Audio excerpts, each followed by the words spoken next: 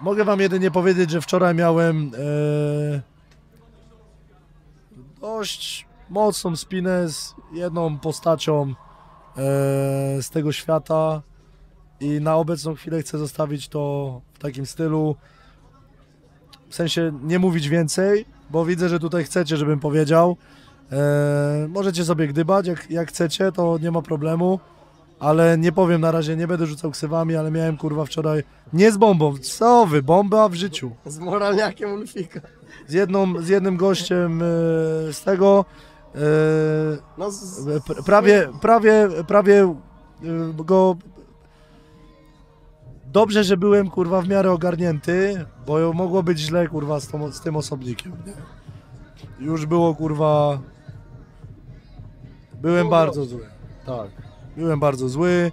Jestem nadal zły. Czy ja uważam, że ja, ja się bardzo dawno nie widziałem, nie wiem czy w ogóle kiedykolwiek, tak wkurwionego. Tak, tak, tak. I chcę tylko powiedzieć, że nie zacząłem. Nie sprowokowałem nic.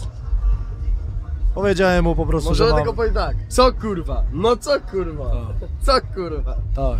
w skrócie. Powiedziałem mu na końcu, że ma wypierdalać, e, że Sun Festival nie jest od tego e, i wypierdolił.